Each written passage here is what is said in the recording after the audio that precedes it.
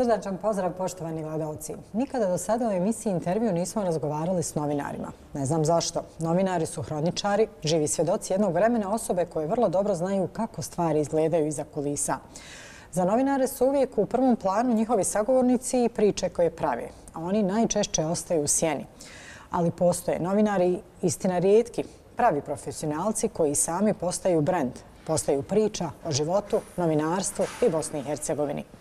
Jedna od njih je i današnja gošća emisije intervju radio televizije Tuzlanskog kantona, gospođa Almasa Hadžić, dugogodišnja novinarka Dnevnog avaza, danas aktivna penzionirka koja bez posla ne može.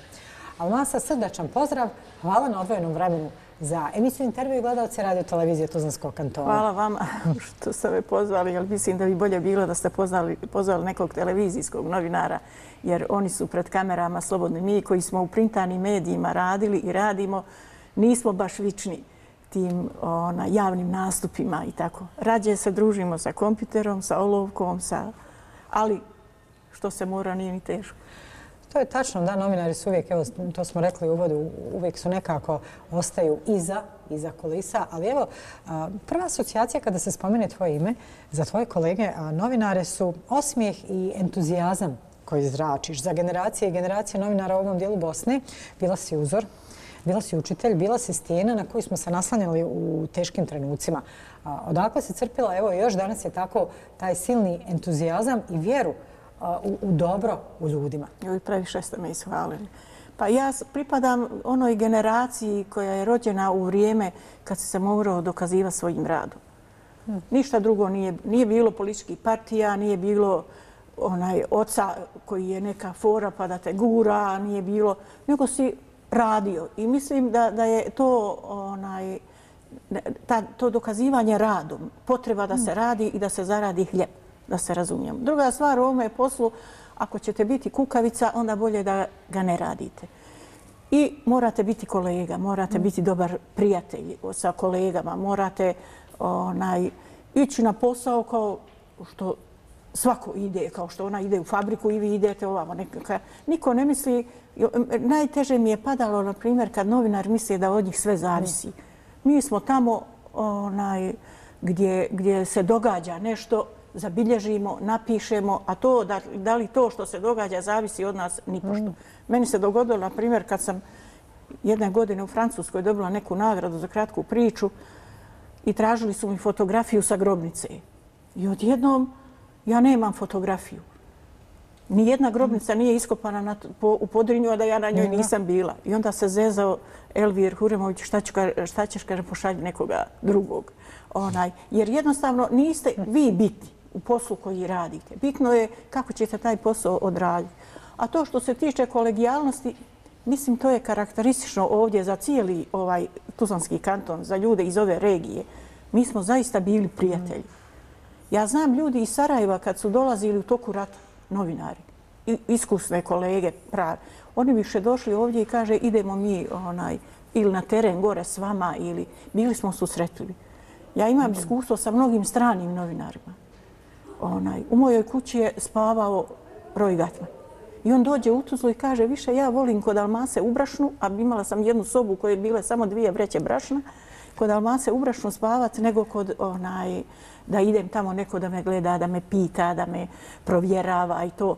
I ti ljudi, s tim ljudima si ostao prijatelj do dan danas. Ili Ervin Hladnik, Milharčić iz Ljubljane.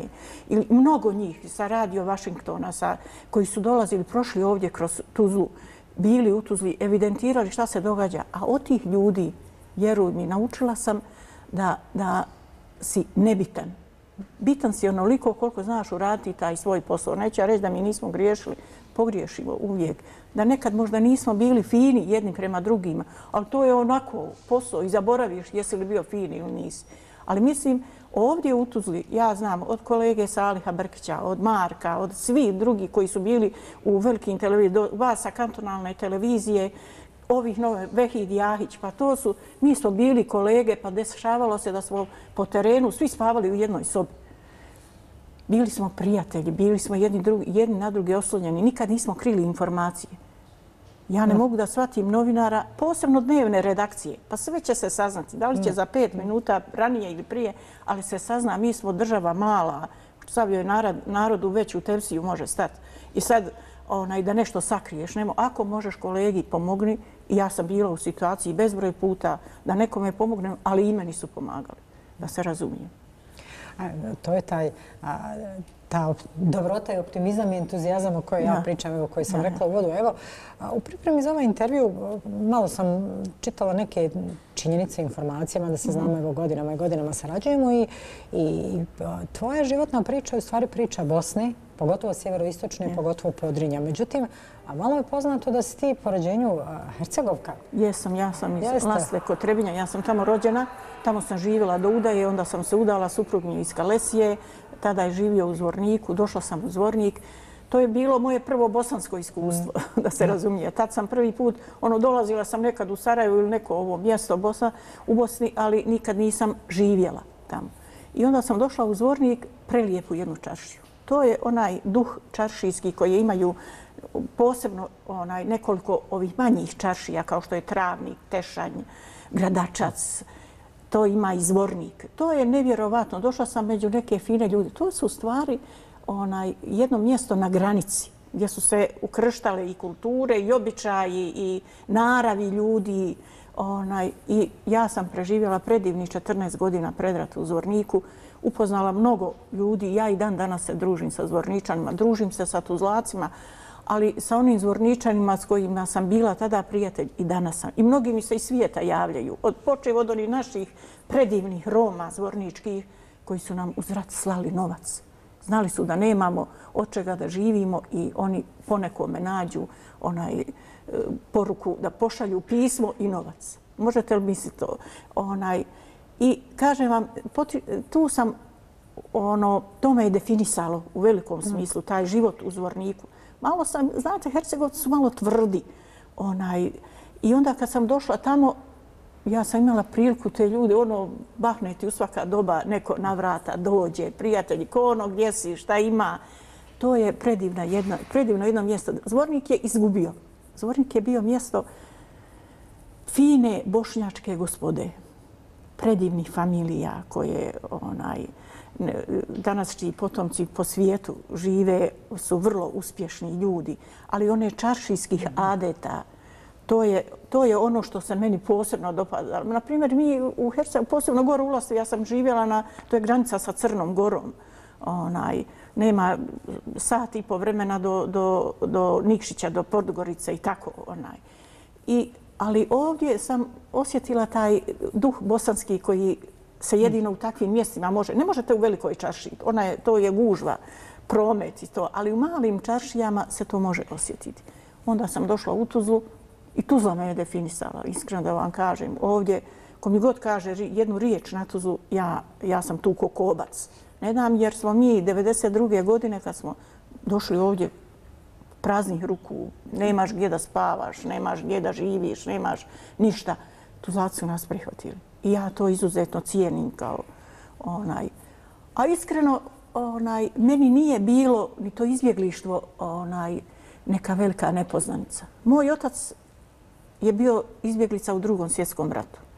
Pa je ponovo bio izbjeglica. I ona iskustva koja je on nama pričao iz drugog svjetskog rata kad je bio izbjeglica u Brčkom, na primjer, mm -hmm onaj, su ista ona iskustva koja smo mi imali, onaj, doživjeli u, ovom ratu. Vjerujte, sve. Otac je pričao kako su pušili ono na bezec. Jedni ostavi dim, meni dim mm. tebi. Sve smo to doživjeli, da? Sve smo to doživjeli mi u ovome. Meni to nije bilo. Meni je važno bilo da je porodica živa, da su djeca živa i to je To, je, to sam podnijela ovdje, u Tuzi sam stekla prijatelje, stekla dobrih ljudi, upoznala i dan danas sam sa njima onaj, malo nas je ova korona poremetila, pa ne, može, ne mogu ljudi međusobno da komuniciraju, da se vide, da sjede, sjednu na kafi, popričaju. To je, ali mislim da, da taj život jedan i to je, ja sam svugdje gdje dođem došla. Da, to je, to mene karakteriše i ja nemam identitet nečega. Ja sam rođena u Lastvi i to ono u sebi što nosim, što je moja mater i moj otac u mene onaj, usadili ali ja sam došla bila u Kalesiju, pa došla u Zvornik, pa došla u Tuzlu, pa gdje god odem došla i baš me briga što sam došla. Znate da to mene je oplemenilo na neki način, upoznaješ razne ljude, razne karaktere i finih ljudi i loših ljudi i pametnih i budala i kako hoćete, ali ovo je posebno, kroz ovaj posao posebno se to onaj događa tako da meni nije bilo baš onaj bilo mi je teško što su ginuli ljudi ali ovako što nemam gdje da budem što nemam da promijenim košulju što nemam onaj sve se da, može nadoknaditi apsolutno me to nije bilo briga šta i nakon rata onda sam poredala prioritet vrijednosti ma šta me briga za tepihe i za store i za namještaje ovakve i onakve. Apsolutno me to nije. Važno mi je da imam, da imam kompjuter, da mogu da radim, da imam nako pristojno, negdje da imam gdje leći sjest, a sve drugo je apsolutno nevažno, vjerujte. Vjerujte, sve mm. bude i prođe. E. Želim da se zadržim na ovom što si rekla upravo. Evo, dakle, bili su to teški trenuci, teška vremena, ali ti si u svemu tome, dakle, i rat, i pro, progonstvo, izbjeglištvo, ponovno promjena sredine, ti si uporado s tim radila. Dakle, bila su teška vremena za sve, ali novinari dakle, moraju ostaviti lične emocije po strani, Absolutno. moraju izvještavati o događaju, moraju svu tu bol i teškoće koje osjećaju oni sami, ali moraju ih dakle, kanalisati i upakovati u novinarsku formu da bi to imalo medijskog efekta. Nas ovdje u Tuzi iz Podrinja okupio je Hasan Hadžić. To je ime, to je pečat u novinarstvu, mislim, to je ono kapa dolje, što On se kaže. On je bio i naš urednik, da. Jeste. Hasan Hadžić nas je okupio i sjećam se, nikad neću zaboraviti neki, ne znam koji je događaj bio, i Hasan je, ona bila je preskonferencija, a Hasan je ovako na kartonu nekom ispisao rukom pres. I Hasan je bio entuzijasta, bio je onaj, ono, volio je, i on je bio u situaciji koji ima izbjeglica, ništa nema, ali je, ali smo svi bili onaj, fokusirani na odbranu. Mislim, da idemo da izvještamo. Bili smo na svim ratiš. Sve smo mi to pješke pregazili. Išli smo odavde pješke u Brčko, pješke u Radačac. Usapnuju te očak, to nije bilo ništa. Krenete uveče u 9 sati preko onaj Kalesije, ono, da se vidi da, pa kroz one šumarke, da, da, da nas ne primijetili oni sa Visa. I ništa to nije bilo teško. I vratite se, pa sutra dan onaj, otkucate ono na mašini, šta ste uradili, pošaljete u redakciju. Ja sam tada radila, pravili smo, Hasan je bio taj koji je napravio radio zvornik gore u Brdima, pa se događalo da nam, na primjer, oni sa druge strane linije ovaj, zovu sa onim megafonom, hajde pustite Safeta Isovića. to, se, to se događalo, mislim. A radio se čuo do Šapca. I mi smo imali prilike da slušamo njihove medije i ove naše, onaj, pa onda oni šta misle o nama ovamo. Ali Hasan je bio profesionalac i uvijek je vodio računa taj da se mm -hmm. govori istina. Ništa drugo. To je kad ne možete pogriješiti ako kažete istinu. Možete nekad ne reći istinu iz razloga zato što ne, ne, niste upućeni. Neko vas je prevario ili niste dobro shvatili. Ja mhm. neću reći da se to nije događalo ali ako namjerno pogriješite, onda, onda, je, onda je to problem. I mi smo gore radili, onda smo izdavali onu ratnu tribinu koju je Hasan prije rata u Zvorniku pokrenuo, pa odavdje, na primjer, oštampa se tribina i mi u dvije put, one putne torbe i nosimo je dosapne i podijelimo borcima tamo da imaju šta da čitaju. Ljudi su to gutali. Pa onda na neki, ako je, kad su kasnije pro, pro, pošle veze prema inostranstvu, onda smo slali u inostranstvo, naši su to čitali, pa onda sam radila za Ljiljan, bilo je ono faksom pošalj, kasnije se ipak smo nabavili te onaj sprave, ne. kako se kaže, tako da imamo, ali ništa nije bilo teško, ništa, ništa. Ja se sjećam, dođemo, kad je, na primjer, završio rat, pa je počeo povratak. I dođem uvečer oko 9 sati, dođem u Tuzlu i brže šaljem u Avaz tekst na mašinu, otkucam faksom, imala sam faks u kući, pošaljem. I odjednom zovu gore, dogodio se, ne, nešto se dogodilo i ja i Blicko ponovo u 11 su neka doba u šumu gore da vidimo šta se dogodilo. To je bio entuzijazam, to je bio adrenalin neki koji nas je dugo držao i nakon rata. Ali reću jedno, kad je rat stao, na primjer, ja tri mjeseca nisam mogla ništa da, da, se, da, da se organizujem. Mene jedan dan zove se Ian Umanović iz Sarajeva i kaže e, gdje si Almasa, šta ima ovo, ono, je li tebi slučajno neko javio da je stao rat? Reko nije. E pa kaže, javljam ti ja i sutra ima da pišeš tekst za vas ako hoćeš da radiš. Pa ako ja radim, pa kaže, ne radiš ništa, vidim ja da ti nešto piskaraš, ovo, ono, a u stvari nismo mogli ono, da se organizuje, da izađemo iz te ratne forme. Da. I kasnije sam počela u avazu i eto da penzije. Da, jeste, sjećam se, dakle, ovaj, taj neki posleratni period angažovanje dopisnika vaza, dnevno izvještavanje, dnevna mašina je najgora, ali i komentari, analize, jako puno je bilo i putovanja i susreta sa naših pa, ljudima. Dnevna, onaj, no, dnevna redakcija je jako teška. Za onaj ko misli, ja nikad onaj, pođeš ujutro na posao nikad ne znaš kada ćeš se vratiti. Sreća je da su mi djeca bila velika, tad su bili gimnazijalci, pa onaj, ono, nisu bili zavisi ili znaš, ja po noći skuham pa on ostavim. Ili dođeš kući i uvečer te u 10 sati zove urednik, e, Almasa, molim te, znali su da sam ja uvijek kući da nigdje ne izlazim. Onaj, hajde, možeš li nam ovo uraditi, nešto, evo stoji, ona. ili onaj uhapšen, možeš li ti uraditi, pa do dva po ponoći radiš. To je dnevna redakcija. To ima i nekog šarma, ali ima to, to čovjeka potroši jede, vrlo potroši vrlo dobro. Ali ta dnevna redakcija onaj, meni je pomogla da sam pratila onaj procese u Haškom tribunalu, da sam imala prilike tamo da vidim šta se događa. To ona druga strana sretala mnoge kolege, svjetske mnoge. Onaj, I sretala sam kolege iz najvećih svjetskih medija.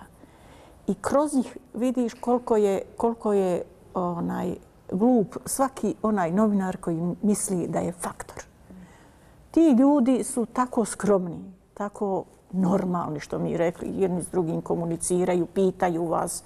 Znam da me je jedan od najpoznatijih svjetskih novinara, poneko, znajući, valjda je nekomu rekao da sam ja iz tih krajeva, iz Vorinka, kad se sudlo na Servoriću. Onaj mene pita mogu li mu objasniti nešto šta je bilo. E to je ono da novinar uvijek treba da pita ako, ako za nešto nije sigurno. Ja sam hiljadu puta pitala, pametniji od sebe i ne treba se bojati pametnijih od sebe. Od njih samo možeš naučiti, a nikako izgubiti. Mislim, I to je ono što mi je novinarstvo omogućilo. Omogućilo mi je putovanja razna, onaj, ali haško iskustvo je nešto što se ne može zaboraviti. Ja sam neki dan preslagivala tamo neke svoje zapise i spise i nađemo na akreditacije, sve i kaže mužu, ovo nemoj da bi slučajno mi dirao, ovo mi ostaje za uspomenu. Onaj. To je, on, kasnije život ona ide, novinarstvo, trka, i kad je došla penzija, onaj, mislila sam da će mi biti onaj teško izaći iz toga tempa. Ali nije, valjda je to prirodni proces. Godine idu i niko ti nije onaj, bez veze ostavljeno da ideš sa 65 godina u penziju, mislim, to da se razumijemo. Ali ja sam i dalje ostala, onaj, pišem sada za portal Politički ba, onaj, tu ono polako, onaj, kad sjedeš, kad ti je čejk, što rekli, sjedeš, uzmeš neku temu. Mm. I... Želim da se zadrži na ovom o čemu se govorila, dakle, o vjerodostojnosti. Evo, dakle, mm. strani novinari su te pitali i jako je važno, dakle, da se novinar uvjeruje i ovo o čemu govoriš od početka, da se govori istina. Danas, mm. danas novinarstvo, danas generalno, dakle, ta javna scena, imamo jako puno neprovjernih informacija, imamo jako puno raznoraznih stručnjaka, analitičara, ne znam čega sve. Ovaj, I činjenice više nisu bitne.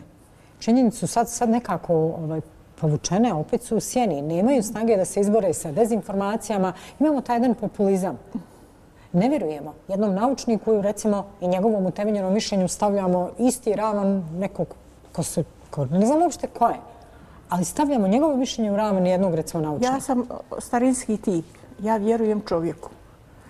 I ja znam ko je novinar onaj s dignitetom, mm. ko je novinar koji će sigurno provjeriti informaciju mm. i neće je objaviti tako lako ako nije. Ja imao sada masa ljudi. To treba objasniti našim građanima. Ja, ali moja majka kaže, ona, ona bilo je, kaže, na televiziji ili ona pročitala negdje u novinama, a ona ne zna šta je pročitala 90 mm. godina i njoj je to tako što je neko plasirao, za nju je to istina.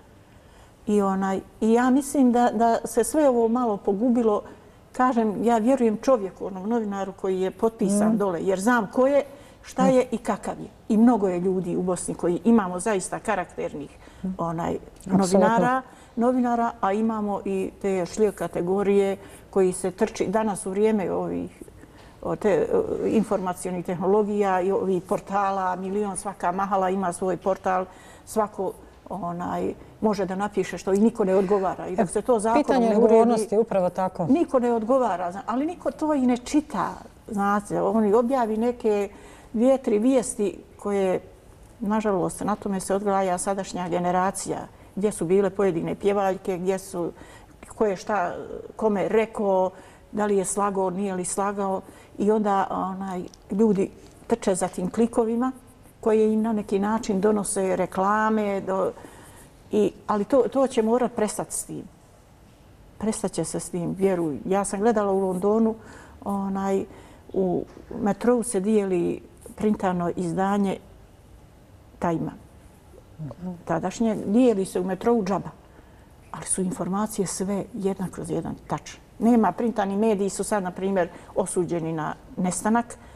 Ide ova digitalizacija i sve je digitalna forma, ali i to će se morati urediti. Morat će neko reći to, kad bi ja sad tužila nekoga ko mi uzme tekst. Ja objavim tekst.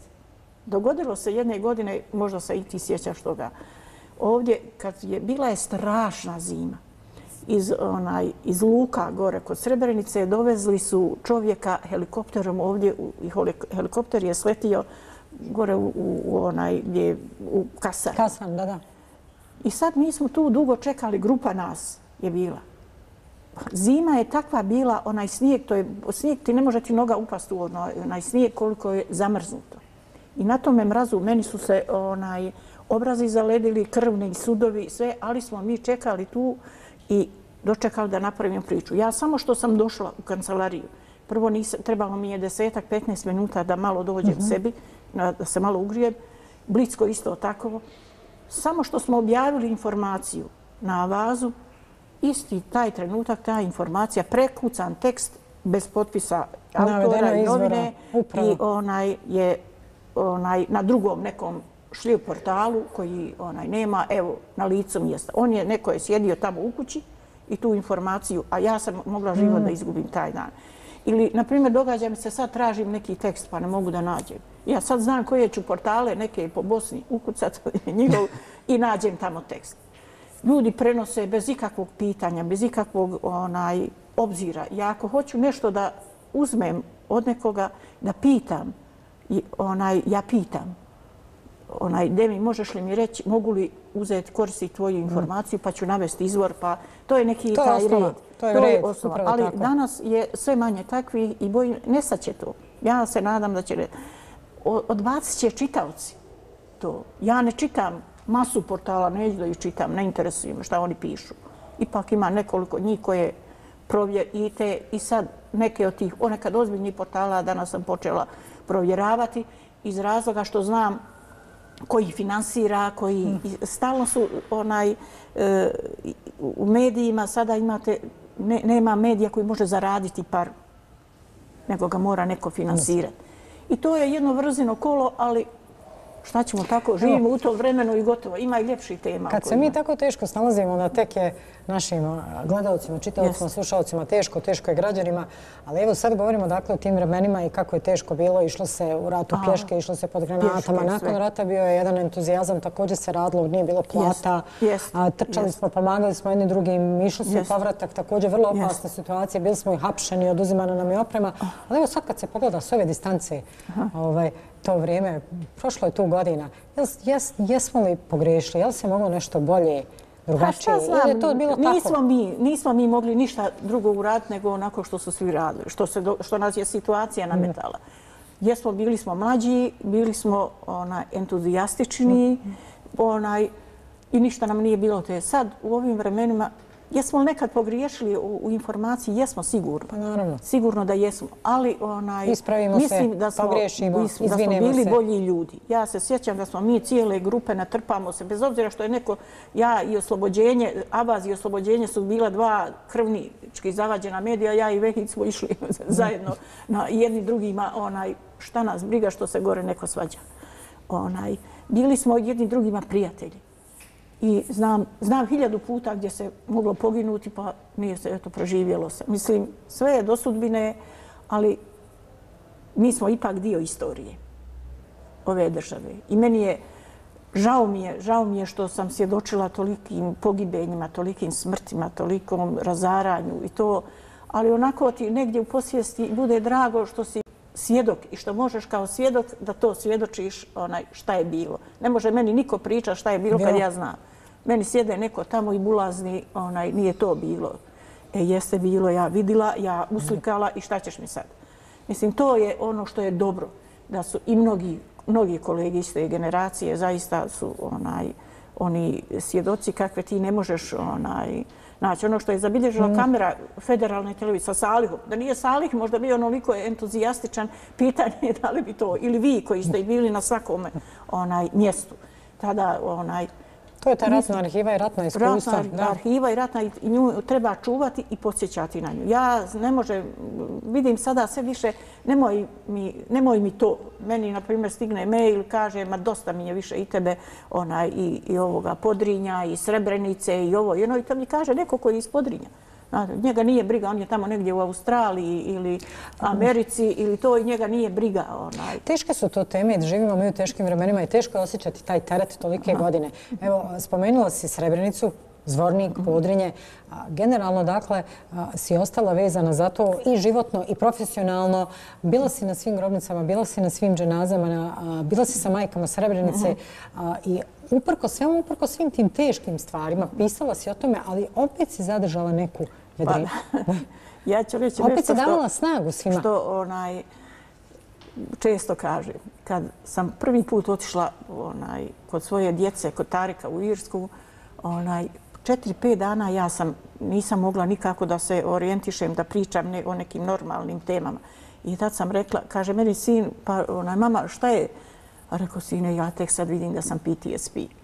Mi smo svi malo fasovali to. Mislim, mi to ne znamo dok ne odeš u neke normalne sredine i to. Ali ja sam takav tip. A, da ti kažem, onaj, ja ne volim onaj, ljude koji šire negativnu energiju. Ne. Je li ti teško? Pa teško ti, jel nisi sam kome je teško? Je li ti onaj, nemaš novac? Nemaš, ali nisi sam ko nema. To ako mogu, ako mogu pomoći ti, i dan danas to radi. Ako ne mogu, šta ću? Ali neću nemoj, odmoći. Neću ti odmoći, mislim. To je. E sad ljudi onaj, nisu naučili, ja kažem, ja sam iz onog tamo vremena, vakta, gdje se radom samo moglo postići nešto. Ništa drugo. Možda je neko se probio onaj više na neki položaj zato što je, ga je neko guro. Ali to su bile rijetkosti, da se razumijem onaj, mi iz malih sredina... Da se nije potvrdio radom, ne bi ostao. Da se ne bi nije potvrdio radom, ne bi ostao. Ja znam bezbroj puta. E sad, odjednom ljudi hoće sve preko noći da je onaj... I misli da mu je važno to što ima dvije kuće, što ima dva, tri auta. On nije ništa važno. Zaista mm. nije važno.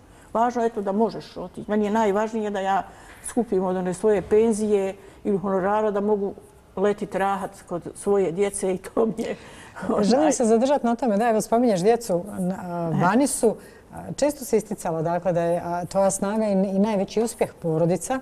Ja se sjećam ovaj, kako smo se radovali, izvještavali smo o uspjesima tvojih sinova na međunarodnim takmičenjima iz matematike. Zaista su bili vrhunski, predstavljali su Bosnu i Hercegovinu na najbolji mogući način. Danas, evo, nažalost, kao i hiljade bosansko-hercegovačkih roditelja, svoju djecu posjećuješ vani. Svoju sreću su morali potražiti vani. Pa da ti kažem, uspjesi moje djece nisu samo njihovi uspjesi. Jesu dobrim dijelom, ali uspjesi su to prosvjetnih radnika koji su otkrili u njima talent. Pa su im ukazali put kako da postignu ono što želje, šta, da izvuču iz sebe ono naj, najbolje, najjače, najsnažnije. Ja, moj mlađi sin Mahir, on i sad spominje svog onaj, profesora u osnovnoj školi, koji je bio profesor matematike, Vibora Velčića u Splitu. Jer su mi djeca u toku rata bila kod moje sve tetične u Splitu. Koji je u njemu otkrio talent i koji ga je guro svo vrijeme da uči što više i da radi.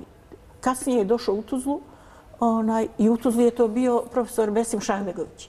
Genij je jedan profesor matematike, mislim, nezaboravan, koji se, kojega generacije pamte. Tarik je isto tako svog koji ga je u dole u Splitu dok je bio u osnovnoj školi, onaj profesora koji je iz nje, u njemu otkrio talent, kad je došao ovdje, bio je to Ahmed Beganović, profesor matematike. Znači, trebao je neko onaj, da ti otkrije to u tebi, da te pogura, da te osokoli, da to radiš.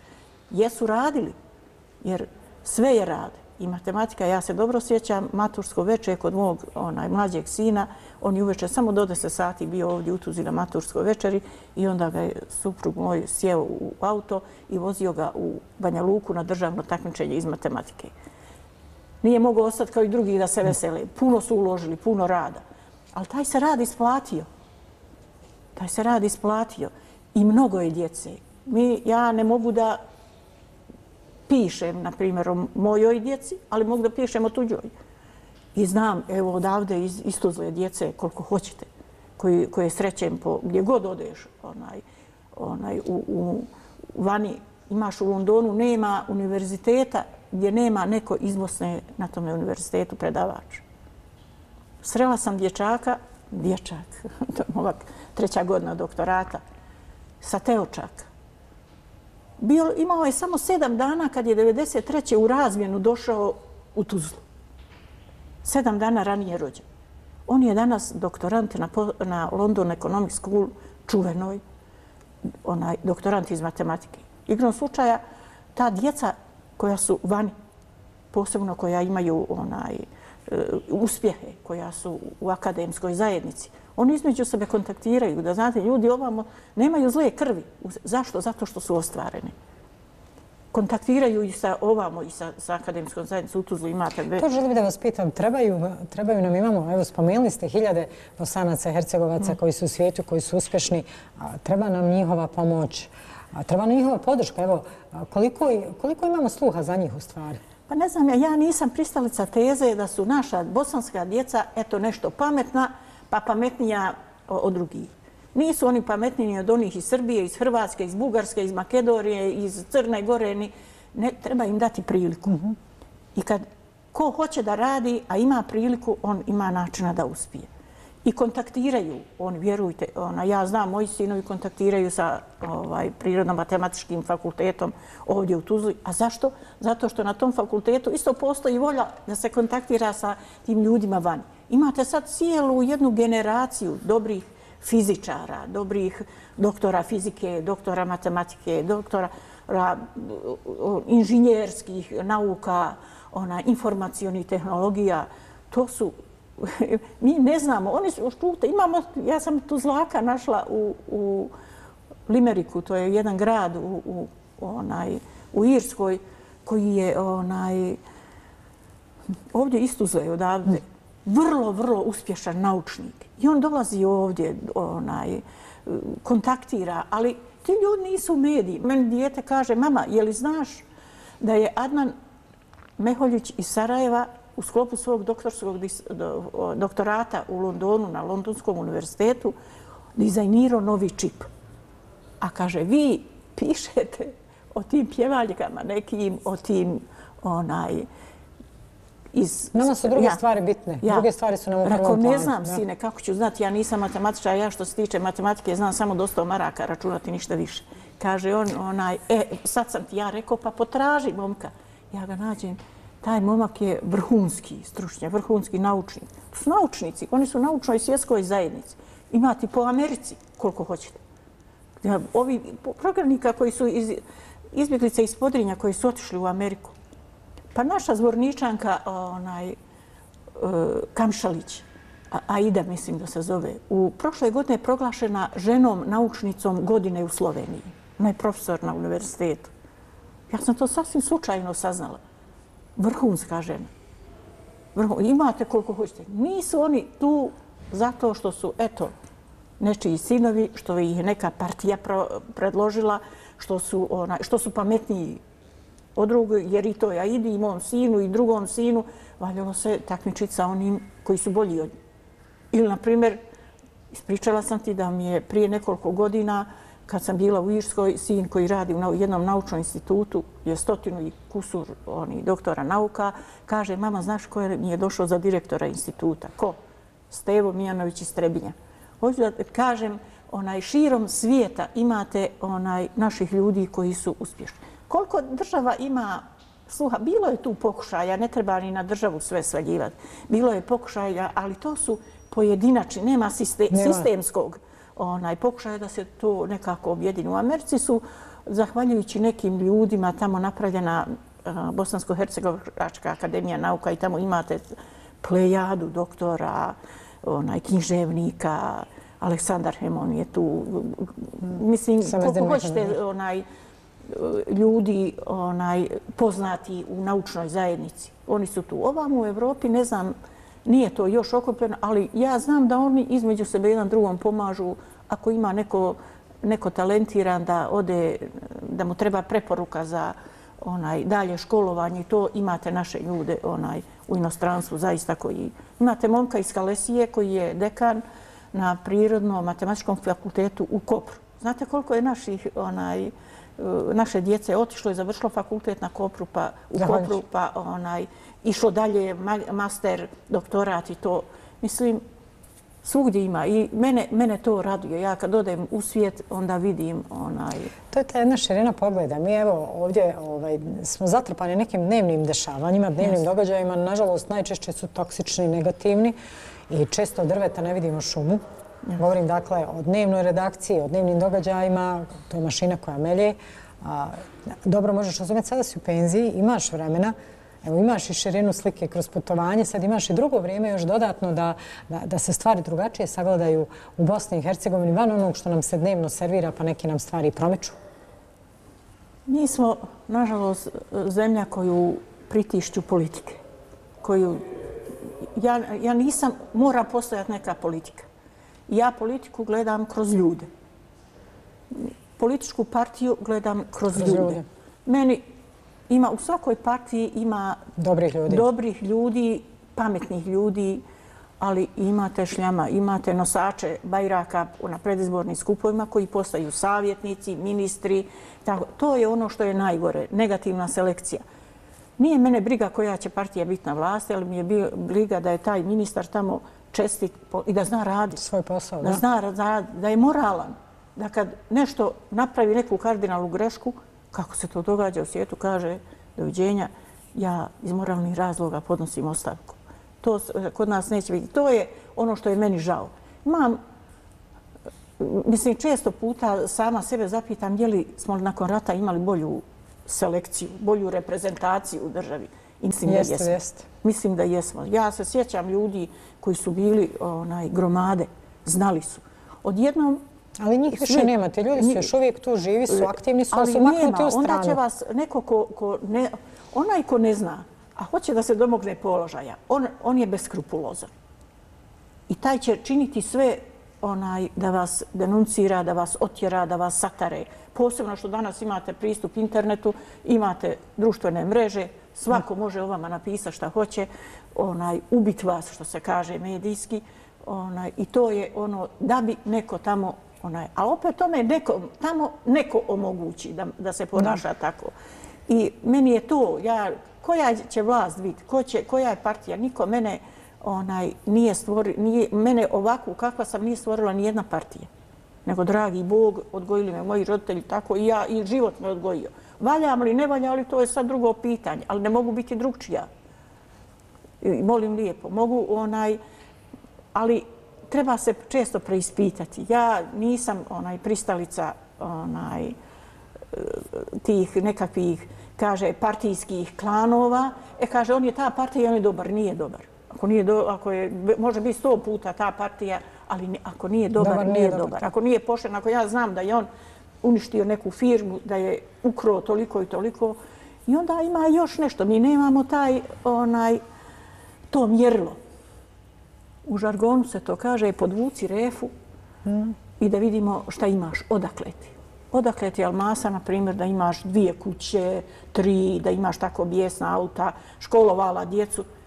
Koliko si zaradila, koliko si platila poreza, molim lijepo. Ima, podvučeš refu i kažeš, e, toliko mi je ostalo za ulje, šećer, brašno i ostalo, toliko sam dao rodbini koja nema od čega da živi. I, onaj, i mislim, to niko to mjerilo ne uzima i sve dotle dok se onaj bahate na taj način preko noći ljudi ne znam odakle znam ih ja ovdje u Tuzli, u Sarajevu pogotovo širom Bosne. Ej, bili su i oni fukara koji ja, 92. godine.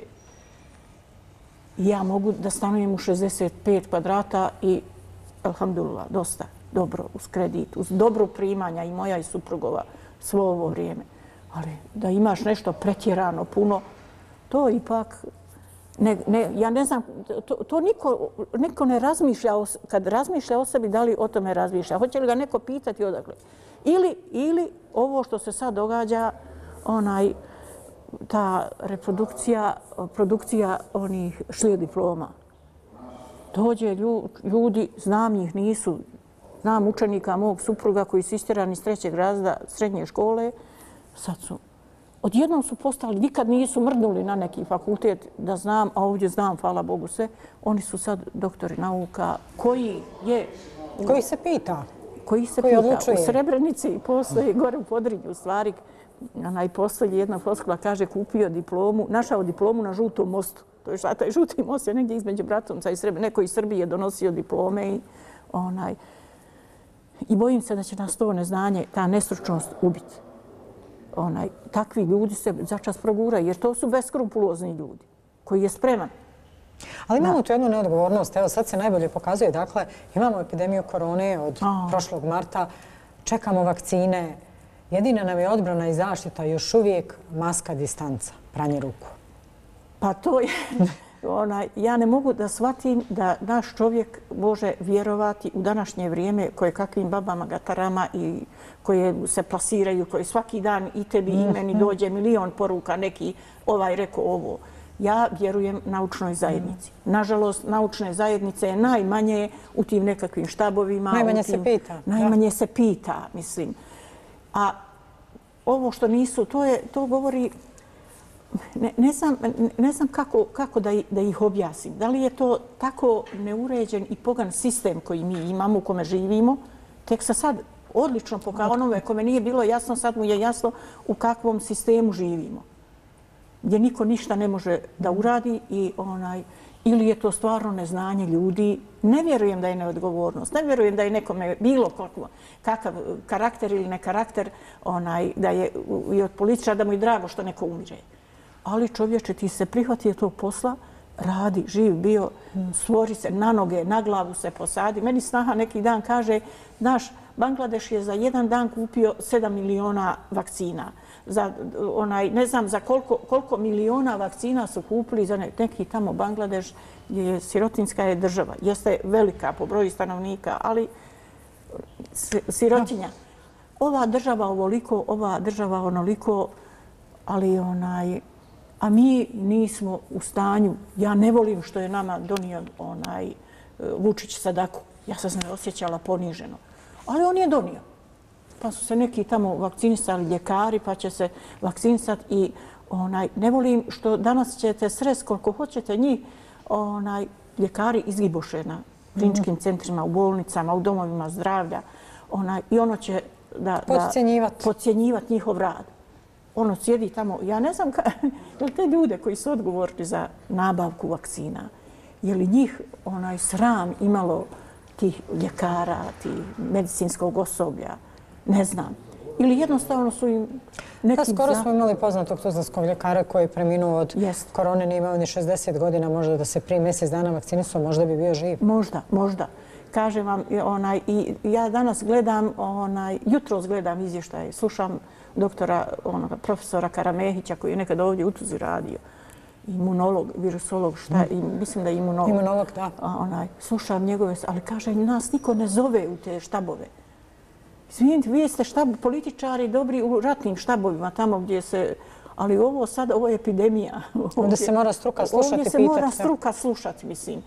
Narod, ko narod, naš ja ne znam, kaže, ne mogu izdržati zatvoren. Možeš izdržati. Izdržao si glad, izdržao si granate, izdržao si paljevinu, izdržao si mm. sve, pa si izdržao. Možeš ih biti malo zatvoren da, da se ovo smiri. Ne znam, znam kako je po Evropi, kakvi su, kakav je sistem, kako je rigorozno. Na primjer, u Irskoj mjesecima, mjesecima sin, pitam dijete, sina, je li izlazite? Kaže ne. Samo do prodavnice za ovu prehrambene proizvode. 5 km od kuće, mjesta stanovanja gdje živiš, možeš samo izaći autom ili pješke sam. I ako te nađe metar dalje, platit ćeš kaznu ko pantopitu, što reći. Da, mi imamo neki otvoreni model. Evo, želim na kraju ove emisije Evo, sve ovo da zaokružimo, dakle, o čemu smo govorili, bilo je i, i lijepih i, nažalost, puno težih stvari za, ovo, za ovaj period radni vijek o kojem smo pričali, ali a, ti si uvijek a, s ponosom isticala da si državljanka Bosne i Hercegovine. S punim ustima si im govorila Bosna i Hercegovina. Ova država treba zaista ljude koji je vole, ali bosanci i hercegovci trebaju državu, evo sad smo o tome pričali, dakle trebaju državu koja ih poštuje i koja će stati za njih. Ali kako i kad i s kim pa mi to možemo postići? Ja ne mogu biti druga, drugo nešto nego ovo što sam. Odem vani, budem, družim se sa različitim onaj, ljudima, fino mi bude, poznaješ njihove kulture, njihove običaje, ali opet ja kad sletim ili u Tuzlu na aerodrom ili u Sarajevo, meni fino. Mislim, ima država, onaj, mnogo do, u Bosna ima mnogo finih ljudi, ljudi koji je voli, u inostranstvu, koliko hoćete.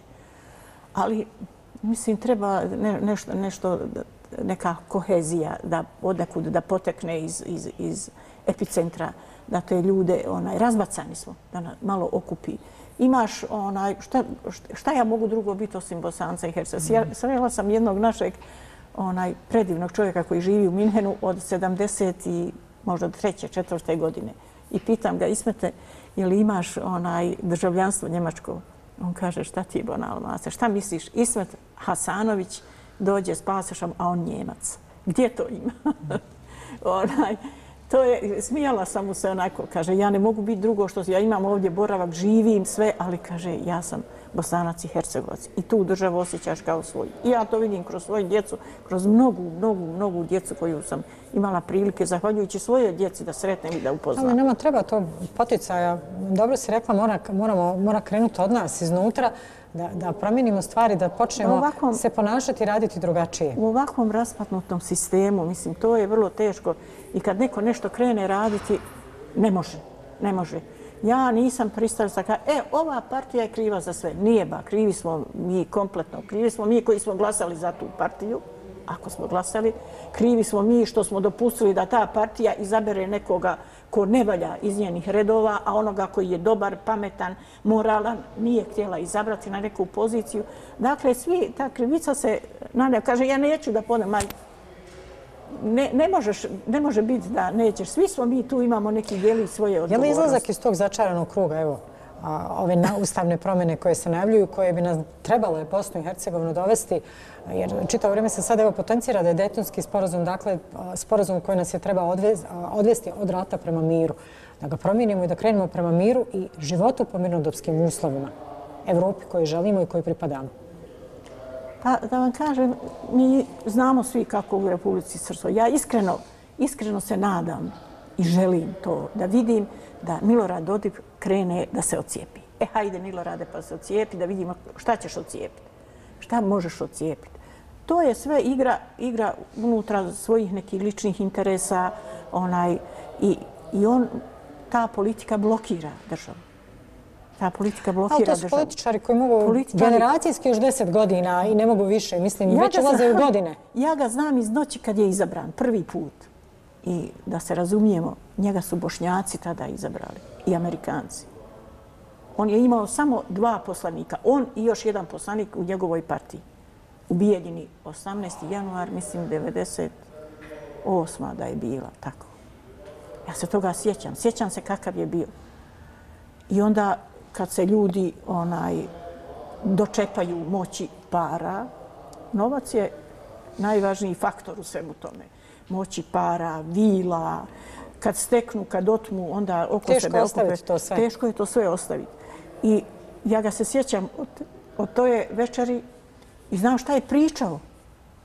Šta je meni, tad sam napravila intervju sa njim i znam šta je pričao. Bosna i Hercegovina, Karadžić je ratni zločinac, Mladić, sve to, Haag treba, ovo, ono, da bi na kraju on počeo da priča onaj, suprotno, jer mu ta priča, ta mu retorika priskrbljuje onaj političku moć, stvari glasove neukog svijeta. Ona jadan tamo seljak koji nema šta da jede, a ja sam hodala po onaj Republici Srpskoj, bila u mnogim srpskim kućama, onaj, gdje ljudi žive od danas do sutra, hoće li imati ako im dijete ne pošalje koje je negdje na, na radu, na privremenom radu ona, ili neće. Ja ću ti samo reći jedan primjer. Sa mojim sinom je na matematičkoj olimpijadi bio dječak iz Republike Srpske. Fantastičan momak i on je, mislim, tada osvojio jednu od medalja. I kaže, neće on, on će biti, onaj, poslije toga, gdje će ko ovaj moj samo leti da ide u inostranstvo na, da studira, a on će, kaže, studirati u Banja Luci i tako. Nakon koliko, 10, 15 godina od tada, kaže mi sin, mama, javio mi se taj i taj, onaj, i pita me mogu li mu pomoć da se negdje, da dobije stipendiju za doktorski studij. Super djete.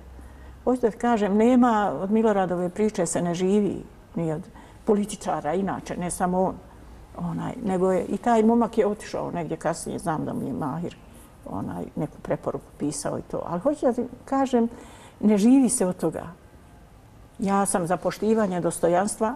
Prvo mene mora kao nekoga kao bošnjaka, kao bosanca, kao čovjeka u ostalom. Onaj, sve ono što me određuje da poštoje. A Boga moram i ja poštovati onaj, onoga drugoga. I to je, ja to najbolje osjetim kad smo u inostranstvu na nekom zadatku. Kad dođu ljudi iz raznih sredina, dođu ljudi iz, znam dobro, kad bili smo na, na izricanju presuda Ratko Mladić, pa su došli ljudi sa RTRS-a. Kolege normalne pričaju, ono, razmjenjujemo informacije, šta, kako, gdje, ko ima. Ali kad dođeš ovamo, neko smije da kontaktira, neko ne smije. To je nažalost, mi smo živjeli, možda smo stariji, pa onaj, nekako to drugčije onaj, prebolijevamo i živimo taj takav život. A ova mlađa generacija ne znam kako će. Da, ali evo, nadu daje evo, ova mlada generacija, naučna generacija o kojoj govoriš i zanadati se da će to dobro u svima nama koji svi ljudi imaju u sebi preovlada, da ćemo tražiti stvari koje nas spajaju, a ne razdvajaju, jer samo nam tako svima zajedno može biti bolje. Meni je ono što mi je najžalije u ovom trenutku. Žao mi je strašno umrli su mi mnogi prijatelji od korone, onaj, poznanici, i ovdje, i u Sarajevu, i širom Bosne. Onaj, ali ono što mi je, što mi je strašna tegoba jeste improvizacija u obrazovanju. Sada u školama gdje moraju, djeca nemaju mm. redovnu nastavu, nemaju, jer to je ono što, što oblikuje obrazovanje. Učitelji, nastavnici koji rade sa djecom, oni oblikuju njih onaj, za kasnije, za njihov život. I to mi je jako žao što nastavnici nisu krivi, nije, nije kriva viša sila, ali ja sam zato da se čuvamo tih eh, onaj mjera, da se pridržavamo i da se samo pridržavamo onoga što kaže nauka. Što kažu političari u ovome, hvala vam lijeko, pa dobri ste ljudi, primajte platu zato što radi, ali pustite nauci da, da, da se bavi koronom, živi bili. A evo, ja se nadam da će nas čut. Masa, hvala na ovom razgovoru. Bilo je zaista lijepo i bilo je osvježenje ovaj, razgovarati i, i o i lijepim i teškim temama, ali u svemu tome uz jedan fini, finu dozu optimizma i entuzijazma ipak ćemo mi... Odmah da, ako mogu. Da. Onaj, hoće li nas čuti ili neće, ne vjerujem. Dogodilo mi se da sam, kad sam pisala o vrlo ružnoj stvari, pomenula imenom i prezimenom ljude, I on mi kaže, samo mi je bilo teško, jedan od njih mi kaže, samo mi je bilo teško prvi put kad se me pomenula. A drugo, baš me briga šta pričaš i šta Obraz John. E, bojim se da obraz John onaj, još uvijek ima obraza Johnova. Onaj.